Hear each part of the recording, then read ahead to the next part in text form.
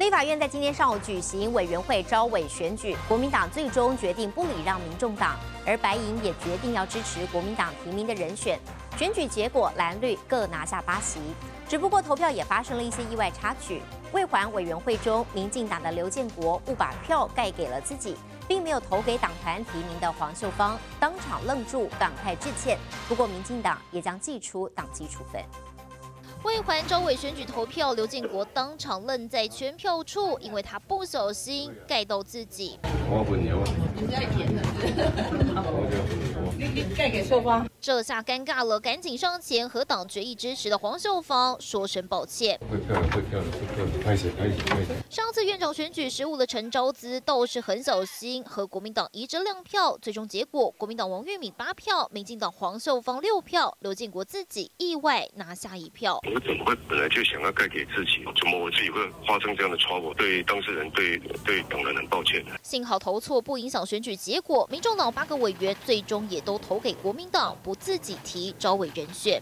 一致，八个委员会全部全力支持中国国民党提出来的招委候选人。那为什么要礼让给民众党？除非有什么政治上的交易了，也很难对民众来说服。但民众党直到上午九点多才做出决议，就怕有变数。通常保持意识中立的院长、副院长也罕见现身委员会投票。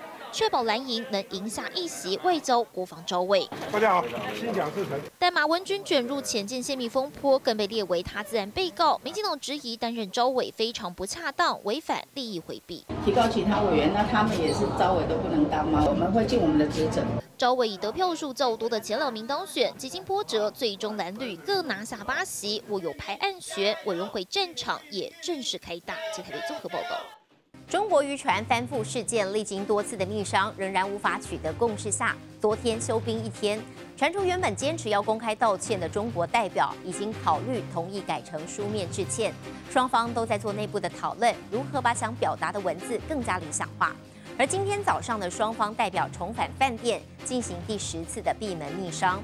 会议大约持续了五十分钟，结束之后，双方面色凝重的离开，对于媒体的询问都避而不答。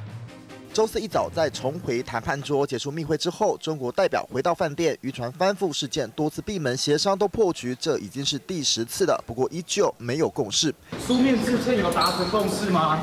小心哦，小心，还是不欢而散？小心的。有书面致歉这回事吗？下午会再谈吗？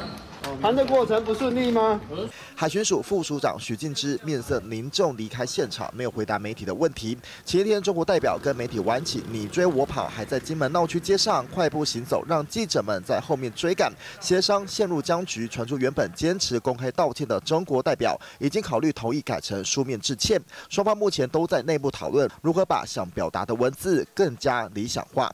在这件事情上面，已经经过了十多天的时间，真相到底为何，以及现在民进党政府跟对岸是不是有良意畅通的管道来去做沟通？不要再让恶意的螺旋持续升温。中国方面是不是同意让步，让事件有转圜余地？对方也希望要回罹难者遗体，但金门地检署低调不愿说明。只是金门海边最近出现疑似是中国海警船巡查常态化，看似成了日常。中国国台办在开炮火，批海委会主委管碧林，更将全部责任都推给台湾。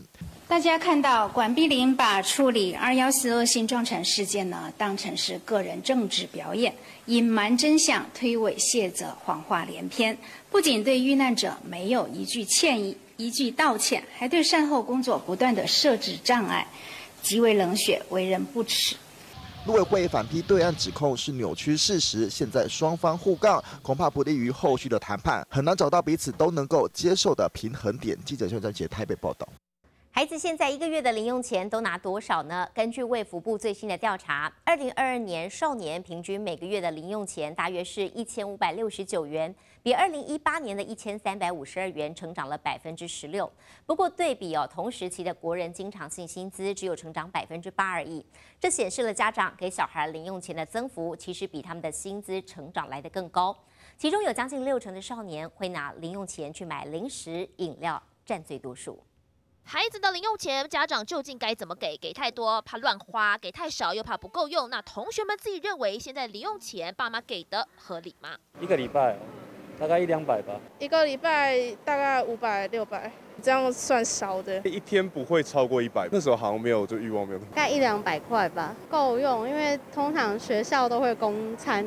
以街坊状况来说，家长给的零用钱金额范围多落在一百至两百块之间，一个月最多也就八百。不过看看卫福部做的最新调查报告，发现扣除三餐还有交通费，家长给孩子们的零用钱有大幅成长。比较二零二二年跟二零一八年孩子的零用钱，每个月平均一千三百五十二块，成长了十六 percent。来到一千五百六十九元，但对比爸爸们同时期的薪资成长幅度却仅有八 percent。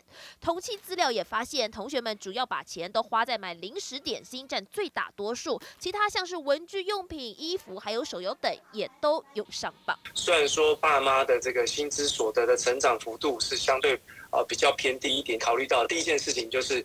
至少也要让孩子的这个零用钱能够哦承受得住哦这个通货膨胀的一个压力哦。现在零用钱究竟该怎么给，似乎还是爸爸们日常生活中的一大学问。接综合报道。日前医院评鉴报告出炉之后，全台有八家医院等级升格，因此三月一号开始呢，看着也变贵了。像是新增的三家医学中心，包括了台北慈济医院、双河医院、台大新竹分院。看门诊收费需要五百多元，挂急诊更是飙破千元。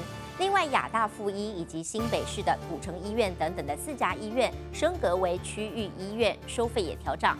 其中，土城医院更表示，就怕部分的民众无法接受，已经先提醒柜台人员要做好被民众骂的心理准备。医院一早就挤满不少人，因为有病患担心三月一号起到部分医院看病收费要变贵了。日前医院评鉴报告出炉后，台湾医疗院所板块有所变动，八家医院等级升格，收费也因此有所调整。其中新北市的土城医院表示，就怕部分民众无法接受，已经提醒柜台人员做好准备，未来这一两个月会挨骂，要顶住。比较多，所以所以可能像。一一般病人有时候会会有一些抱怨，跟柜台人员他们讲说，哎，这个这个一般民众可能会有这样的情形，那你就好好的跟他解释啊。另外，双河医院有长期就医的患者也很酸，说看一样的医生领一样的药，却得多花钱，难以接受。我不是说单单只有我一个人看而已，我先生也会看，还有我娘家的妈妈，压力就很大了。他三口有可能一个月一千多块。啊，干脆不要来看急诊。到底一口气变贵多少？这位小姐连急诊都不敢看了。来看看，包括台大癌医门诊一次涨到三百四十元，急诊涨到六百五十元，还有土城医院、亚大附医、义大癌医这四家医院升格为区域医院，另外三家医院升格为医学中心，门诊收费增加一百三到一百八十元，急诊贵了三百到三百五十元。为了减少民怨，台大新竹分院还因此减少五十元的挂号费。钱钱也不是医院收啊，是是医院是整个健保署收的啊。民众感叹。除了要面对通膨、物价飙涨，现在连部分医院看诊收费也要调涨，实在无奈。这杨宗彦、陈建国台北报道。